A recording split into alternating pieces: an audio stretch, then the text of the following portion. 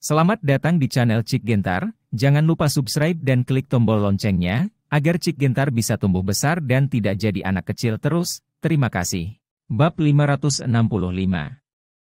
Saat Shangsuan dan yang lainnya sedang berdiskusi, Harvey, yang menghindar di aula, tiba-tiba berhenti. Segera, Harvey menginjak tanah dan berdiri dengan bangga di lapangan. Dia mengangkat matanya dan melihat ke langit, Matanya berkedip-kedip dengan guntur hijau, dan kemudian tangan kanannya mencengkeram cakar dan bersiul ke arah langit. Begitu dia meraihnya dan melambaikannya, naga gila hitam dan naga guntur biru melingkari Harvey melambaikan cakar naga mereka pada saat yang sama, merobek ke arah langit. Ini seperti naga sungguhan yang menjelajahi cakarnya. Orang-orang kaya dan terkenal yang hadir tercengang, mereka tidak percaya apa yang mereka lihat. Pertarungan seperti itu, saya khawatir bahkan efek khusus dari film tidak dapat dilakukan, kan? Berdiri di belakang Shang Xuan, Raja Surgawi Dong Fangji menyipitkan mata dan berkata dengan sungguh-sungguh, Ayah, anak ini tidak sederhana, dia telah mengembangkan ki sejatinya ke tingkat yang begitu kuat. Jika dia tidak diberantas hari ini, diberikan waktu, dia pasti akan menjadi momok nan mentianda saya. Saya tentu tahu itu. Shang Xuan mengangguk, jadi, hari ini, tidak peduli apa, biarkan dia mati di sini. Dong Fang Ji, Yu Changhai, dan yang lainnya mengangguk, siap mendukung Cai Fengyi kapan saja. Mereka telah sepenuhnya bergerak untuk membunuh. Desir. Pada saat ini, kedua cakar naga merobek udara dan mengeluarkan suara yang tajam, langsung merobek bayangan tinju di atas? Apa? Cai Fengyi terkejut, dia tidak pernah menyangka Harvey akan mematahkan kritik gilanya. Terlebih lagi, setelah kedua cakar naga merobek bayangan tinju, mereka langsung menangkapnya. Bocah bau, kamu ingin membunuhku, itu hanya mimpi. Cai Fengyi meraung keras. Dalam proses tubuhnya jatuh dengan kecepatan ekstrim, dia telah memobilisasi ki sejati di panggung tengah Vientani alam hingga ekstrim. Dia seperti gunung di atas gunung, dan dia meninjunya. Pukulan ini sangat kuat sehingga kedua cakar naga itu langsung hancur berkeping-keping. Setelah menghancurkan cakar naga, tinju terus bergulir ke bawah menuju Harvey di bawah. Pertempuran Harvey meraung, kakinya menghancurkan tanah, Kekuatan 10% daging terjalin dengan energi kemarahan ganda, dan dia meninjunya. Ledakan. Dalam. Sekejap. Pukulan dari udara atas bertabrakan dengan pukulan dari bawah. Ledakan. Tanah bergetar hebat, dan kedua kekuatan itu terjalin seperti gelombang besar, menyebar ke segala arah, menerbangkan segala sesuatu di sekitar dan menghancurkannya. Pada saat ini, Cai Fengyi tergantung terbalik di langit, Harvey menginjak tanah, dan kedua tinju bertabrakan, seolah-olah mereka mandek. Detik berikutnya. Dong dong dong. Kedua. Kekuatan itu terus bertabrakan, seolah-olah genderang sedang dipukul, memekakkan telinga. Di bawah gerusan dua kekuatan kuat, karpet dan ubin di tanah semuanya terangkat, seperti tirai, berguling ke segala arah. Lari! Lari! Orang kaya dan berkuasa yang telah mundur jauh berteriak kaget dan terus mundur. Adapun para master di sekitar Shangsuan, mereka menyebarkan ki sejati mereka untuk melawan. Di tempat tersebut, kedua kekuatan itu bertarung satu sama lain 17 kali. Akhirnya, Cai Fengyi tidak bisa menahannya lagi, dan kekuatannya melemah. Dan Harvey memanfaatkan kesempatan ini, mengepalkan tinjunya erat-erat, otot-otot lengan kanannya membengkak, seperti penyerapan batu besi, darah melonjak di dalam tubuhnya, seperti mesin gerak abadi, terus mengalirkan kekuatan ke lengannya. Apa? Harvey meraung dan mendorong dengan pukulan, dan kekuatan ke-18 melonjak. Dengan suara ledakan yang menggelegar, Cai Fengyi tidak bisa menahannya lagi, dan tubuhnya terbang terbalik. Ledakan. Langit-langitnya dihancurkan menjadi lubang oleh tubuhnya, dan seluruh tubuhnya tertanam di langit-langit. Darah menetes dari langit-langit. Pada saat ini, Cai Fengyi, dengan rambut acak-acakan dan pakaian compang-camping, tergantung terbalik di langit-langit, darah keluar dari hidung dan mulutnya, dan tubuhnya dipenuhi bekas luka, dia sekarat. Dia tidak pernah membayangkan bahwa Harvey baru saja mengangkat dunia, dan dia bukan lagi lawannya. Pada saat ini, Harvey melihat bahwa Chai Fengyi masih bernafas, dan siap untuk menyambar petir dan membunuhnya sepenuhnya. Namun, saat ini, Harvey merasakan paksaan yang mengerikan dan niat membunuh menyapu ke arahnya. Dia tahu bahwa tembakan lain telah diambil. Namun, bukan gayanya untuk membiarkan dia melepaskan kesempatan untuk membunuh Chai Fengyi seperti ini. Jadi, Harvey menginjak tanah, dan potongan-potongan batu pecah di tanah terbang ke udara. Kemudian, Harvey melambaikan tangan kirinya. Uhuk-uhuk. Potongan-potongan kerikil melesat ke langit-langit seperti peluru. Kepulan. Darah memercik, dan puing-puing padat menembus ke dalam tubuh Chai Fengyi. Uh. Cai Fengyi melolong rendah terakhir, dan tubuhnya jatuh dari langit-langit seperti daun jatuh. Pada saat yang sama, Harvey memutar tinju kanannya dan bergegas ke sisi kiri. Ledakan. Pukulan Harvey bertabrakan dengan pukulan dari sisi kiri. Pengunjungnya adalah Festival Timur salah satu dari empat Raja Surgawi. Tabrakan ini, Harvey C. memperhatikan kekuatan yang mengejutkan, yang bergegas ke arahnya seperti badai yang dahsyat. Ya. Harvey mengerang, dan seluruh orang dikejutkan oleh pukulan Dong Fang Sai. Setelah terbang lebih dari 30 meter, Harvey mendarat dengan mantap. Namun, ketika dia mendarat, Harvey merasakan ki dan darah di tubuhnya berjatuhan, dan seteguk darah hampir menyembur keluar dari mulutnya. Tapi Dong Fang Ji berdiri di sana tak bergerak, matanya dingin dan penuh niat membunuh. Ledakan. Ledakan membosankan lainnya. Saya melihat bahwa tubuh Cai Fengyi telah hancur ke tanah. Cai Fengyi, pemimpin dari delapan orang yang tersebar, meninggal. Semua orang yang hadir ngeri dan benar-benar bodoh. Berapa banyak orang dan berapa banyak orang kuat yang telah dipenggal sejak anak ini masuk sampai sekarang? Orang-orang Basan berpangkat tinggi telah dihancurkan olehnya selama lebih dari setengah. Setelah malam ini, apakah anak ini hidup atau mati? Saya khawatir itu akan mengguncang seluruh Shenzhou. Anda harus tahu bahwa Nanmen tidak pernah mengalami pukulan seperti itu sejak pendiriannya hingga hari ini. Intinya adalah bahwa festival Dongfang Raja Surgawi sudah keluar untuk menyelamatkan adegan tadi, tetapi dia masih gagal menyelamatkan Chai Fengyi. Ini bukan hanya tamparan di wajah Nanmen, tetapi juga tamparan di wajah semua orang yang hadir. Lagi pula, mereka tidak optimis tentang Harvey sekarang, dan merasa bahwa Harvey pasti akan mati. Dong Fangji, bunuh dia, bunuh dia. Aku harus membunuhnya. Shang Xuan sudah sangat marah dengan Guntur, wajahnya merah, dan dia ingin menebas Harvey dengan seribu pisau. Bunuh dia! Bunuh dia! Bunuh dia! Semua orang yang hadir meraung. Dong Fangji menatap Harvey dengan acuh tak acuh, dan berkata dengan sungguh-sungguh, Nak, sejak aku menjadi Raja Surgawi Nanmen, Orang-orang yang ingin membunuh tidak meninggalkan ruang tamu, dan mereka yang ingin menyelamatkan pasti akan diselamatkan olehku.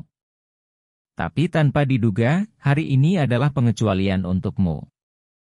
Kamu berkata, bagaimana kamu ingin mati?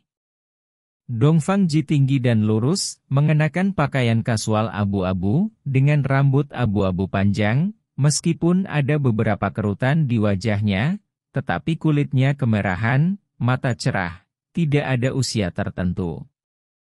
Harvey menarik napas dalam-dalam dan menekan ki dan darah yang bergejolak di tubuhnya. Dia menatap Dongfang berkorban, dan berkata dengan suara keras, jika kamu ingin bertarung, bertarung, berhentilah berbicara omong kosong. Dia tahu bahwa dia mungkin tidak menjadi lawan Dongfang Sacrificial, tapi sekarang solusinya adalah bertarung sampai mati. Berjuang, masih ada harapan untuk mengubah kekalahan menjadi kemenangan, jika Anda tidak bertarung, Anda hanya bisa menunggu untuk mati. Bagus sekali, punya tulang punggung. Dongfang Ji berkata dengan bangga, kalau begitu aku akan memberimu kematian. Setelah mengatakan itu, dia siap melakukannya. Tapi sekarang... Ah. Satu demi satu teriakan tiba-tiba datang dari luar. Bab 566 Suara apa? Shang Xuan bertanya dengan cemberut. Orang lain yang hadir juga bingung, tidak tahu apa yang terjadi. Harvey juga tercengang, sedikit bingung. Ayah, Sepertinya ada sesuatu yang terjadi di luar. Seseorang berkata, Pedang emas, keluar dan lihatlah. Shang Xuan berkata kepada pengawalnya. Ya, Sang Buddha. Jin Dao mengangguk, lalu berbalik dan bersiap untuk keluar untuk melihat-lihat. Tetapi pada saat ini, seorang murid Nanmen yang berlumuran darah masuk dari luar pintu. Buddha, Hal besar itu buruk. Itu masuk. Itu masuk. Murid Nanman berteriak ngeri sambil berlari. Ada apa? Apa panggilannya? Apa? Panik, bicara perlahan jika ada yang ingin kamu katakan. Kata Shang Xuan dengan marah. Murid Nanmen ini hendak berbicara. Bang bang bang. Suara membosankan bergema. Saya melihat bahwa para murid sekte selatan dengan pakaian biru dan hitam terbang dan jatuh di depan Shang Xuan dan yang lainnya. Ini. Apa yang terjadi di sini? Siapa yang berani menyakiti murid Nanmen saya? Shang Xuan dan yang lainnya tiba-tiba marah. Namun, suara orang tidak jatuh. Terkunci. Terkunci. Terkunci. Sebuah langkah kaki yang mantap dan kuat datang. Semua orang di aula melihat ke atas dan melihat sekelompok besar orang berjalan masuk dengan kuat. Siapa pun yang berani memindahkan Tuan Harvey akan mendapat masalah dengan saya dari Asosiasi Wusu Fujian Selatan. Siapa pun yang berani memindahkan Tuan Harvey, tanyakan dulu apakah Asosiasi Wusu Guangdong Selatan akan menjawab. Tuan Harvey, saya, Kuo Mengcuan, memimpin 5.000 murid Asosiasi Wusu Guangdong Barat untuk datang ke sini. Laporkan. Tuan Harvey, 3.000 saudara dan saudari dari kamar dagang Tiandi bersedia melewati api dan air untuk Anda. 5.000 saudaraku dari kamar dagang awan bersedia untuk maju dan mundur bersama dengan Tuan Harvey. Tuan Harvey, Anda benar-benar tidak lucu, Anda benar-benar menyembunyikannya. Kami datang ke sini sendirian. Suara demi suara berteriak keras. Melihat orang itu datang, Harvey tiba-tiba terpana, dan dia tidak sadar. Kenapa kamu di sini? Harvey terkejut, senang, dan bingung. Orang-orang yang datang semuanya adalah saudara dan teman mereka. Mu Erlene, Qin Hongye, Qiu Yihan, Fu Qingzhu, Du Tianlong, Kuo Mengcuan, Fu Gongcheng, Qin Jiuxia dan lainnya semua datang. Jian Hen, Kuang Dao, Tian Shun, kamu tidak sembuh dengan baik, mengapa kamu datang ke sini? Harvey terdiam ketika dia melihat Jian Hen, Kuang Dao, dan lainnya yang luka-lukanya belum sepenuhnya pulih. Kakak York, bukankah kamu terlalu lucu? Kamu datang ke sini sendirian dan tidak berbicara dengan kami? Crazy Blade menyeringai. Benar, kita bukan saudara lagi. Wang Qi, yang masih terbungkus kain kasa di kepalanya, juga berteriak. Tuan Harvey, karena Anda akan datang ke gerbang selatan, Anda harus memberitahu orang-orang besar kami. Apakah Anda khawatir kami tidak akan berani datang? Du Tianlong berkata sambil tersenyum. Melihat wajah-wajah yang dikenalnya di depannya, Harvey sangat tersentuh.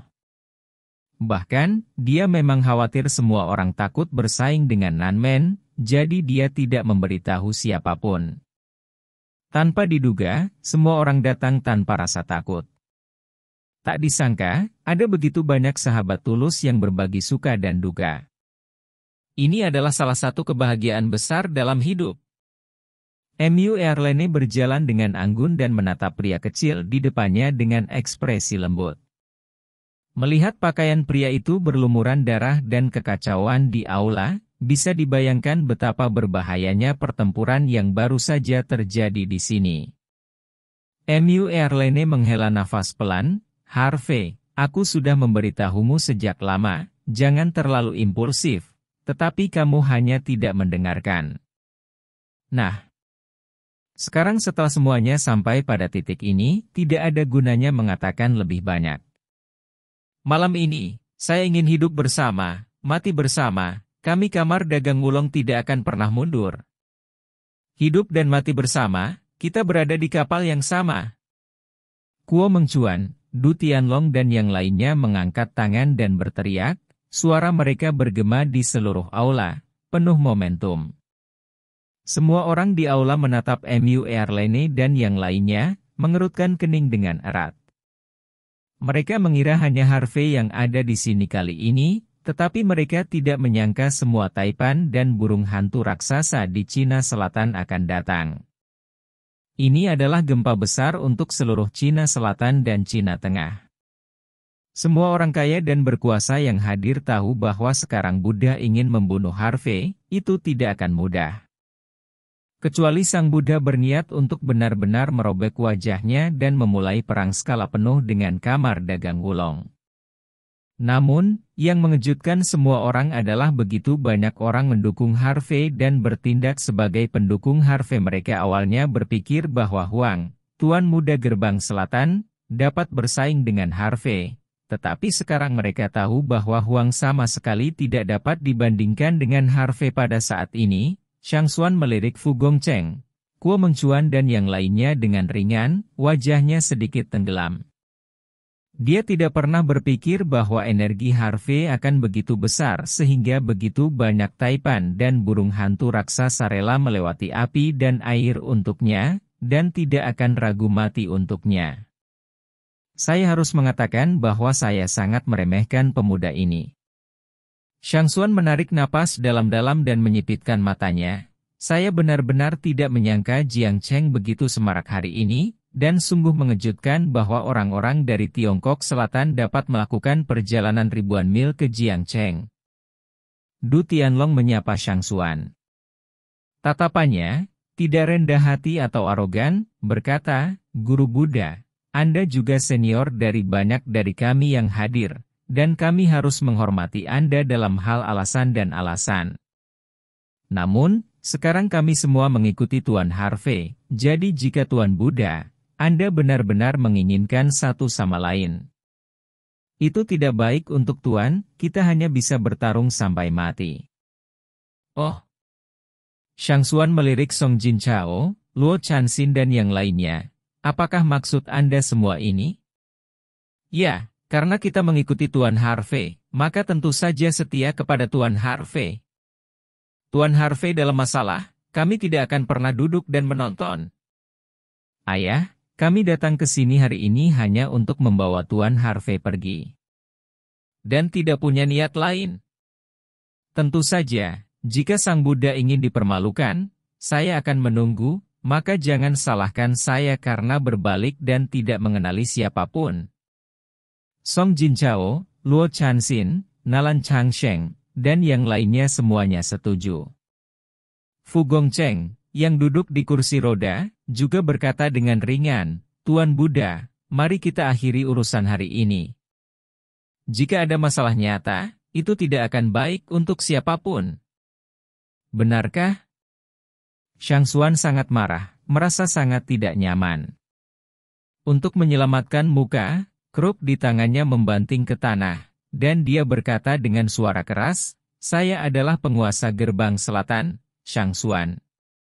Selama beberapa dekade, saya dapat menghitung orang-orang yang berani untuk menantang saya dengan satu tangan. Tanpa diduga, bahkan Anda junior berani menantang saya sekarang, apakah Anda benar-benar berpikir bahwa saya telah bodoh selama bertahun-tahun?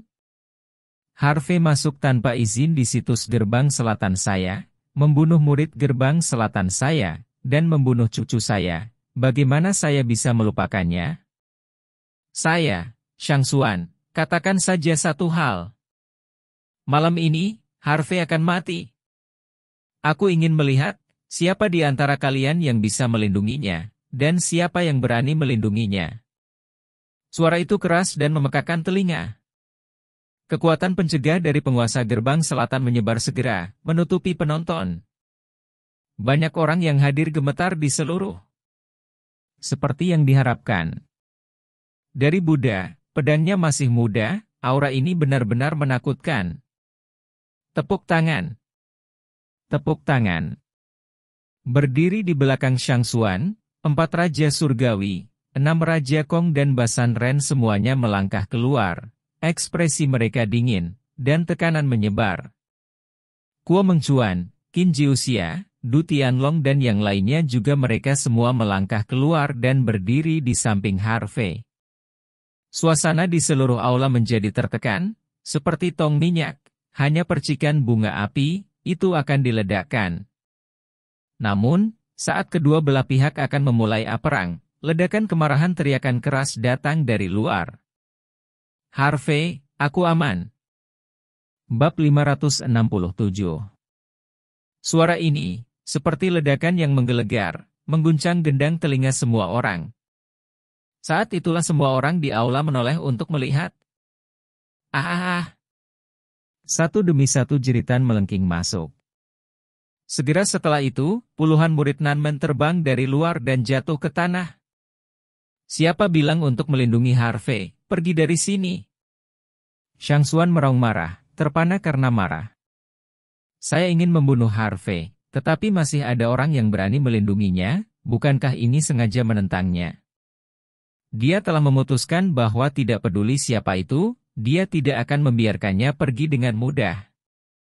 Segera, sesosok datang dari luar, dan secara bertahap menjadi jelas di depan semua orang.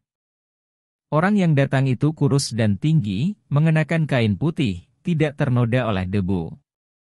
Dia memiliki rambut hitam pendek, alis cerah, wajah tampan, dan sepertinya dia baru berusia tiga puluhan. Hanya saja nafasnya tertahan, dia tidak memiliki aura atasan apa pun, dan dia terlihat seperti orang biasa dengan sedikit temperamen. Namun, ketika mereka melihat orang ini, banyak orang yang hadir terkejut. Terutama Shang Xuan, ada ekspresi bermartabat di wajahnya. Bagaimana mungkin dia? Kenapa dia di sini? Juga, mengapa dia ingin melindungi Harvey? Satu demi satu pertanyaan muncul di benak Shang Xuan, membuatnya tidak berani bertindak gegabah.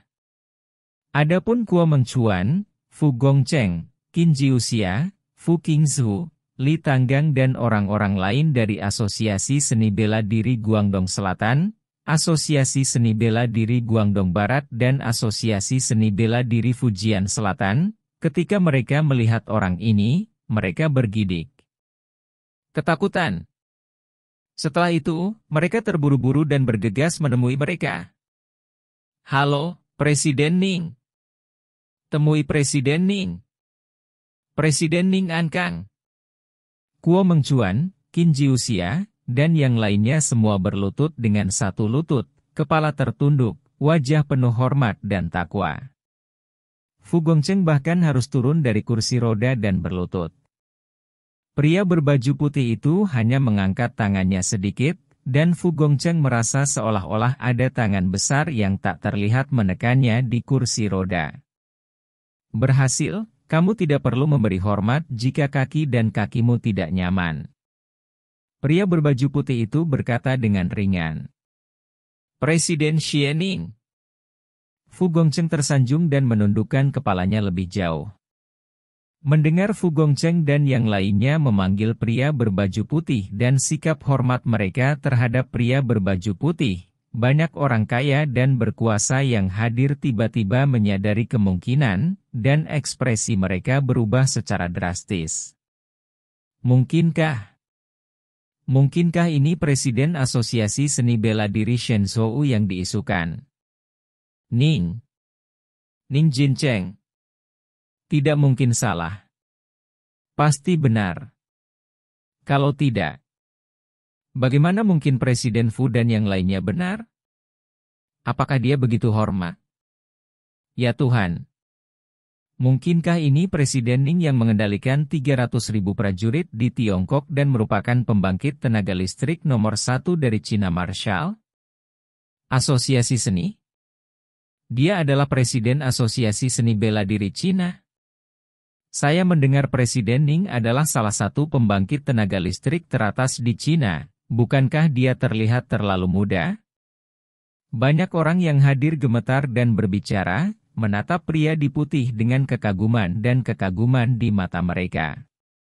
Bagaimanapun, mereka semua adalah orang-orang kelas atas, dan tentu saja mereka memiliki pemahaman tertentu tentang orang-orang terkenal di Tiongkok. Oleh karena itu, pria berbaju putih ini adalah Presiden Asosiasi Seni Bela Diri Shenzhou, kota terlarang Ning. Pria yang sangat legendaris. Bangun.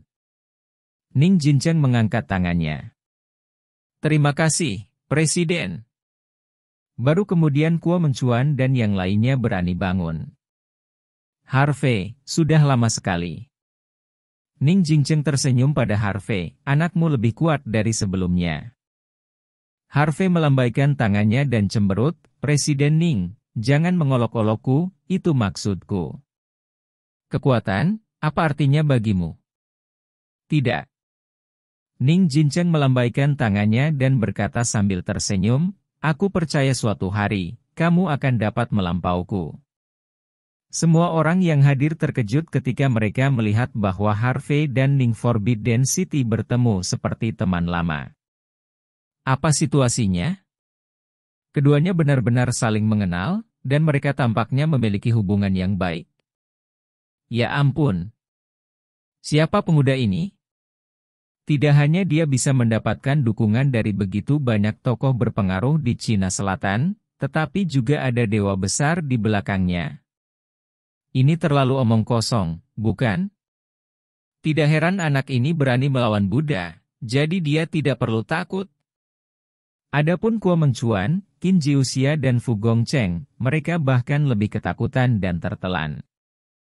Meskipun mereka tahu bahwa Harvey dan Ning Jincheng adalah teman, bagaimana mereka bisa tahu bahwa hubungan mereka akan sangat baik? Mereka semua diam-diam bersuka cita di dalam hati mereka, untungnya, mereka memilih untuk berteman dengan Harvey, bukan musuh. Halo, Presiden Ning. MU Airline, Qin Hongye, Du Tianlong dan yang lainnya menyapa Ning Jincheng dengan hormat. Namun, kepala Qin Hongye diturunkan, seolah-olah dia menghindari sesuatu. Ning Jincheng hanya melirik Qin Hongye lebih banyak. Dia tidak mengatakan apa-apa, tetapi memandang Harvey dan berkata sambil tersenyum, Ayo, Harvey, mari kita cari tempat untuk minum. Ada yang ingin aku bicarakan denganmu. Tentang Presiden Ning, saya ingin pergi minum dengan Anda, tetapi lihat situasi saat ini, bisakah saya pergi? Harvey tersenyum tak berdaya dan mengangkat bahu. Ning Jincheng tersenyum, menoleh untuk melihat Shang Xuan, dan berkata dengan acuh tak acuh, Shang Xuan, beri aku aja, mari kita akhiri masalah hari ini. Shang Xuan mengerutkan kening dan menjawab, Ning Yi, Stuart Shang Xuan, tentu saja ingin memberi wajah presiden. Namun, Harvey benar-benar menipu orang malam ini. Dia membunuh banyak murid Nanmen saya, dan juga membunuh cucu saya. Jika saya membiarkannya pergi dengan mudah, jika masalah ini menyebar, Bagaimana saya bisa berdiri di sungai dan danau di masa depan? Meskipun Shang Xuan membantah, dia jelas kurang percaya diri. Tidak mungkin, pria di depannya memiliki terlalu banyak energi. Tidak hanya kekuatannya sendiri yang kuat, tetapi ada lebih dari 300 ribu murid seni bela diri di belakangnya. Yang membuatnya semakin terpesona adalah kota terlarang Ning bisa langsung berbicara dengan orang-orang di atas Shenzhou. Oh! Ning Jingcheng mengangkat alisnya dan melirik orang-orang kaya dan berkuasa yang hadir. Maukah Anda menyebarkan berita tentang kejadian hari ini? Jangan katakan apa-apa. Ya, Presiden Ning, kami benar-benar bungkam, dan kejadian hari ini seharusnya tidak pernah terjadi. Semua orang yang hadir mengungkapkan pendapat mereka. Hanya bercanda, Ning Jingcheng telah berbicara, beraninya mereka berbicara omong kosong. Ning Jingcheng tersenyum ringan dan menatap Shang Xuan lagi. Mereka telah berjanji bahwa mereka tidak akan menceritakan apa yang terjadi malam ini. Shang Xuan menggertakkan giginya, memegang manik-manik Buddha dan kruk dengan erat, dan berkata dengan sungguh-sungguh, Presiden Ning, bahkan jika saya bersedia melepaskan Harvey, saya khawatir murid-murid Nanmen saya tidak akan melakukannya. Suara itu jatuh, Empat raja surgawi, enam raja besar dan rakyat Basan di gerbang selatan semuanya berdiri. Presiden Ning, jika Anda membiarkan Harvey pergi seperti ini, saya tidak sabar. Ya, Harvey harus memberi kami penjelasan untuk Nanmen. Presiden Ning, ini adalah keluhan antara Nanmen kami dan Kamar Wulong dari Kamars. Bahkan kamu, tidak bisa ikut campur dalam masalah ini. Dongfang Ji, Yu Changhai, dan yang lainnya bergema. Tidak setuju. Senyum di wajah Ning Jincheng menghilang, dan matanya menjadi dingin. Jika ada yang tidak setuju, kamu bisa berdiri, dan aku akan menemani Ning Jincheng sampai akhir. Setelah berbicara, Ning Jincheng mendongak, matanya sepertinya memiliki dua semburan cahaya. Paksaan yang arogan dan mendominasi menyebar dari tubuhnya secara instan. Rambut hitam, pakaian putih, tidak ada angin dan otomatis. Bab 568 Ledakan Seluruh aula dan seluruh hotel bergetar, seolah-olah gempa bumi yang kuat telah dipicu.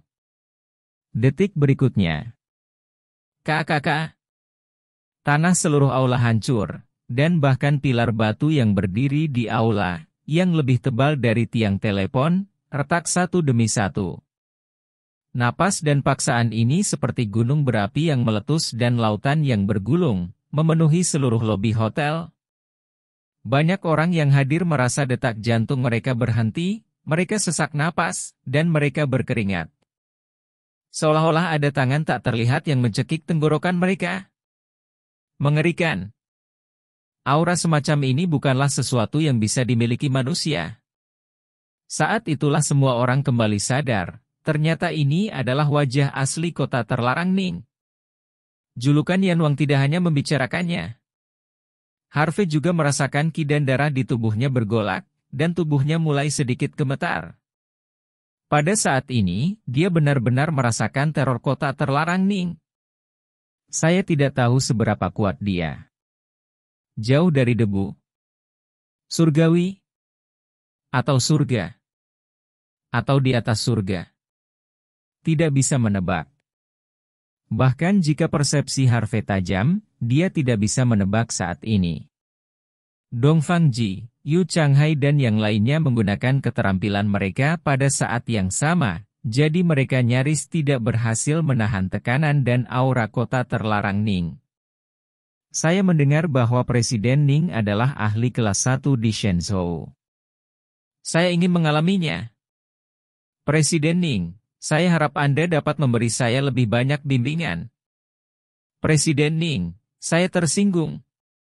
Dalam sekejap, empat raja surgawi, enam raja besar, dan tiga orang basan yang tersisa, total tiga belas orang, mengepung kota terlarang Ning di tengah. Shang Xuan tidak mengatakan apa pun untuk menghentikannya, itu adalah default. Faktanya, dia hanya mendengar tentang kekuatan kota terlarang Ning, tetapi belum pernah benar-benar melihatnya.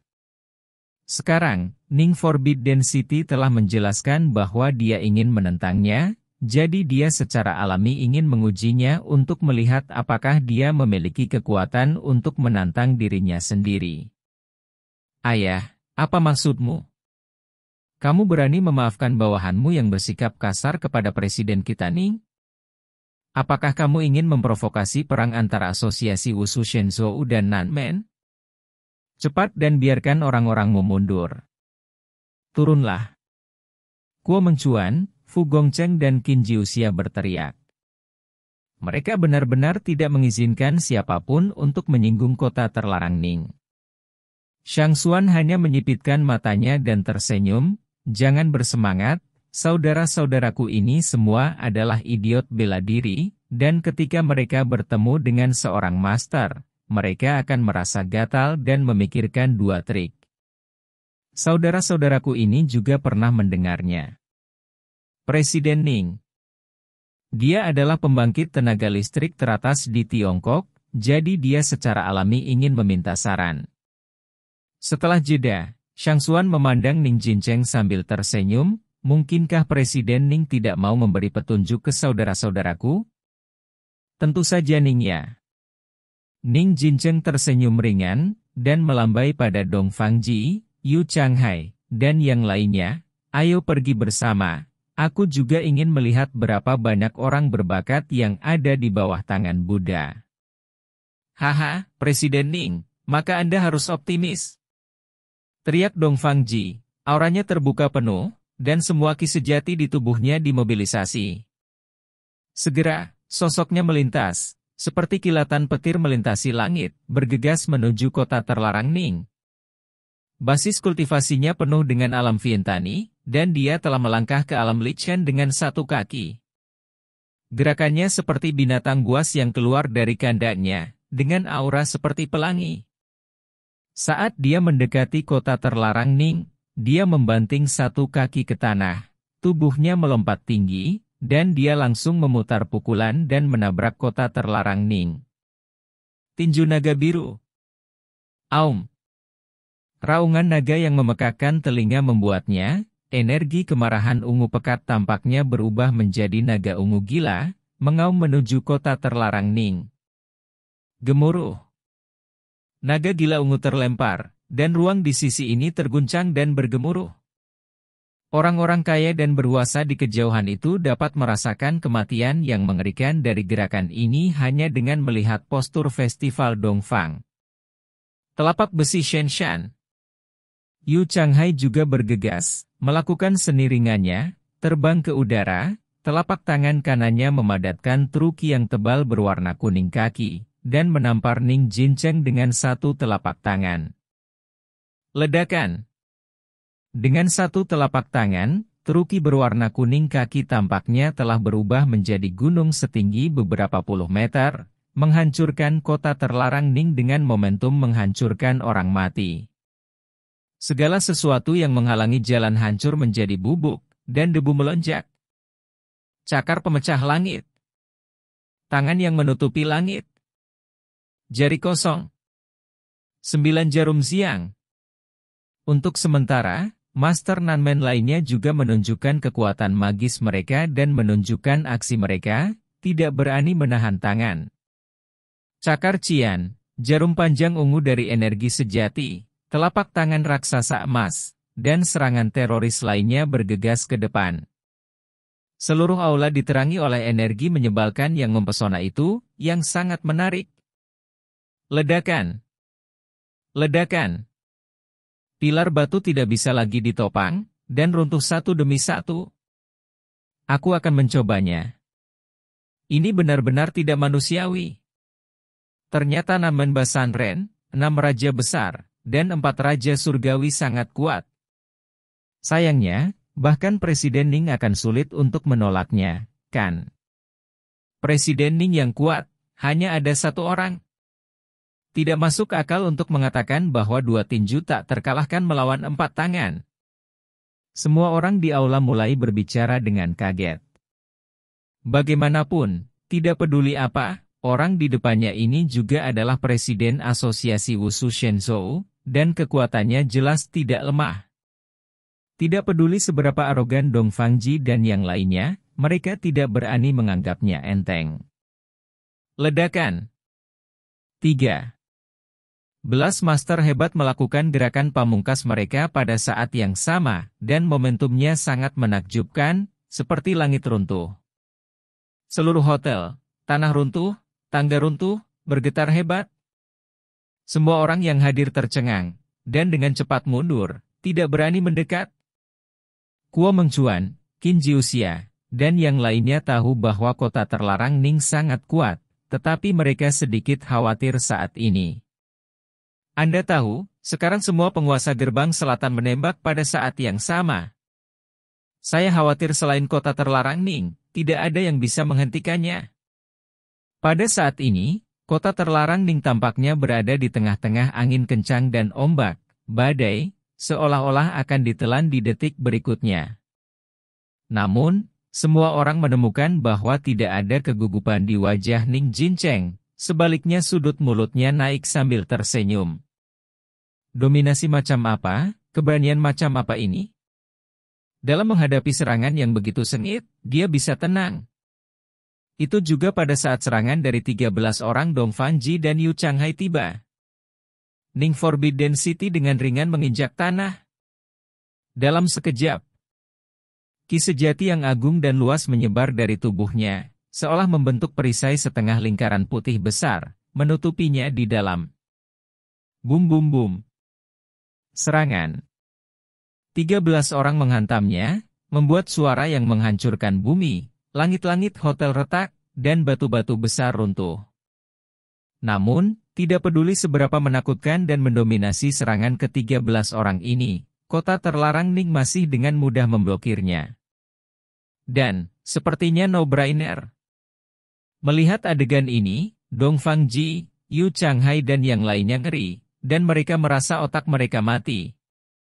Nima, 13 dari mereka ditembak pada saat yang sama. Yang terlemah memiliki kekuatan dari alam guyuan yang terlambat, dan yang terkuat telah mencapai alam licen. Tapi bagaimana kota terlarang bisa diblokir dengan begitu mudah? Pada saat ini, Ning Jincheng berdiri dengan tangan di belakang, berdiri di lapangan, ekspresinya tidak berfluktuasi, seolah-olah segala sesuatu di sekitarnya tidak ada hubungannya dengan dia. Bab 569 Dia melirik 13 orang di luar kacamata, dan tersenyum ringan, kekuatanmu sangat bagus, dan kamu pantas menjadi murid gerbang selatan. Namun, mari kita berhenti di sini. Jika kamu terus bertarung, akan ada korban. Dengan mengatakan itu, Ning Jincheng dengan lembut menginjak tanah dengan kaki kanannya lagi. Ledakan. Suara seperti bom nuklir meledak. Dengan Ning Forbidden City sebagai pusatnya, Truk yang mengelilinginya tampaknya telah berubah menjadi gelombang mengerikan, bergegas ke segala arah. Tidak bagus. Mundur. Dong Fang Ji, Yu Changhai dan yang lainnya berteriak satu demi satu. Mereka jelas merasakan teror dari kekuatan ini, dan mata mereka penuh ketakutan. Namun, bahkan jika mereka bereaksi, mereka masih tidak bisa menghindarinya dalam sekejap. Dalam sekejap. Bang! Bang bang bang! Gelombang udara menghantam mereka seperti gunung yang menjulang tinggi. Uh! Ah! Jeritan kesakitan bergema. Saya melihat bahwa 13 orang Dong Fanji yang melompat ke udara langsung tersingkir. 13 orang terbang sejauh 20 atau 30 meter sebelum nyaris mendarat dan menstabilkan tubuh mereka.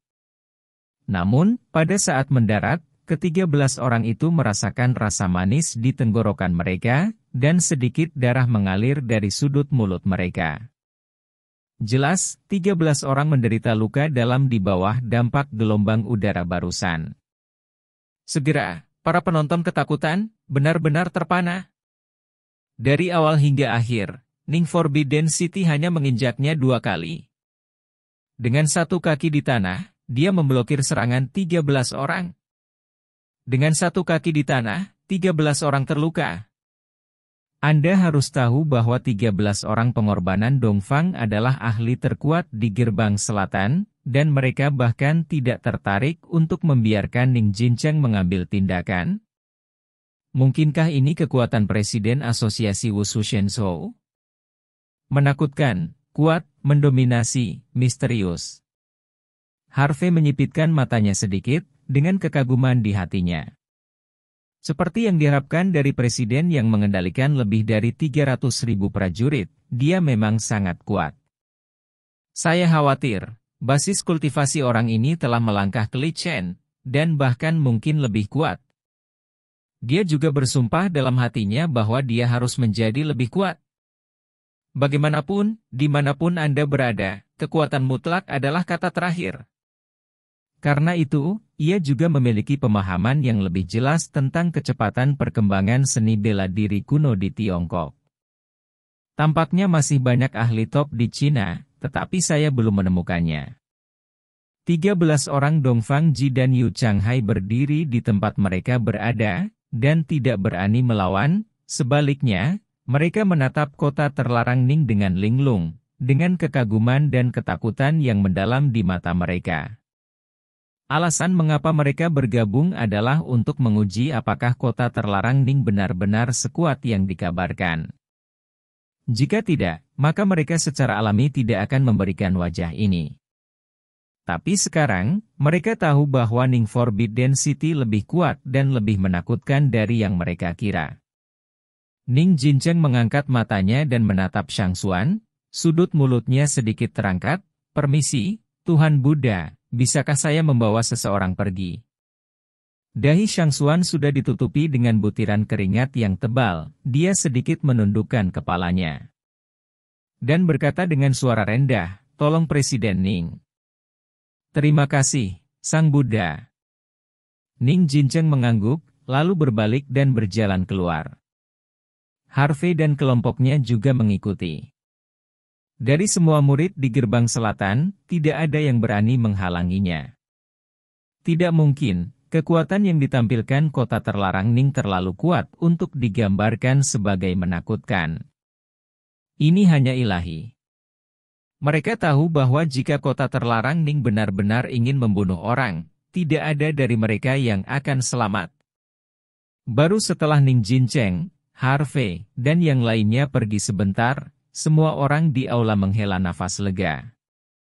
Banyak orang menyadari bahwa punggung mereka sudah basah oleh keringat.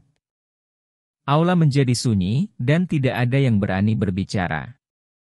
Shang Xuan menghela nafas panjang, merasa sangat marah dan sedih di hatinya. Hampir, dia bisa membunuh Harvey sendiri dan membalaskan dendam cucunya. Tanpa diduga, kota terlarang Ning keluar di tengah jalan. Shang Xuan melirik Dong Fangji dan yang lainnya, dan bertanya dengan suara yang dalam, jika kamu dan Ning Jincheng terus bertarung sekarang, apa hasilnya? Dong Fangji menghela nafas dalam-dalam dan menjawab, jika kita terus bertarung, kita akan melakukannya. Semua mati. Di tangan kota terlarang Ning. Yu Changhai dan yang lainnya tidak berbicara, tetapi setuju. Bahkan jika mereka tidak mau mengakuinya, mereka harus mengakuinya. Mereka benar-benar tidak bisa mengguncang kota terlarang Ning. Ini. Shang Xuan sangat bingung, apakah benar-benar tidak ada peluang untuk menang? Tidak. Dong Fang Ji menjawab dengan getir. Shang Xuan mengerutkan kening, dan bertanya kepada Jin Dao, yang telah diam, Jin Dao, Apakah Anda melihat kekuatan kota terlarang Ning? Dongfang Ji, Yu Changhai, dan yang lainnya semua memandang pria yang berdiri di belakang Shang Xuan. Orang tua yang berbicara sedikit. Mereka tahu bahwa sebenarnya, ahli terkuat di gerbang selatan adalah orang tua ini. Tidak. Jin Dao menggelengkan kepalanya. Jika kamu bertarung melawannya, apa peluang menangnya? Shang Xuan bertanya lagi. 30 persen. Jin Dao menjawab dengan dua kata, dan kemudian melanjutkan, mungkin bahkan tidak 30 persen. Kata. Kata itu keluar.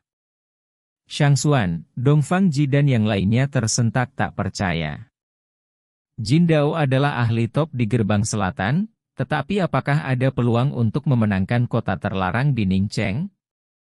Shang Xuan menghela nafas panjang, seperti yang diharapkan dari Presiden Asosiasi Seni Bela Diri Shenzhou. Dia benar-benar kuat di luar perbandingan. Ayah, apa yang harus kita lakukan sekarang? Dongfang Ji mengerutkan kening, mungkinkah itu? Itu saja untuk hari ini? Tentu saja kita tidak bisa membiarkannya begitu saja. Wajah Shang Xuan menjadi gelap, kota terlarang Ning memang sangat kuat, dan asosiasi seni bela diri Shenzhou memang besar.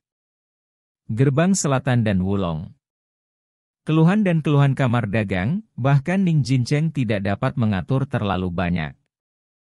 Selama kita tidak memprovokasi asosiasi Wushu Shenzhou, maka mereka tidak memiliki alasan untuk ikut campur dalam urusan kita. Setelah itu semua, tanggung jawab utama asosiasi Wushu Shenzhou adalah untuk melindungi negara dan rakyat dan memerangi delusi luar negeri mengganggu orang-orang asing di Tiongkok, tidak memprovokasi kekacauan di Tiongkok.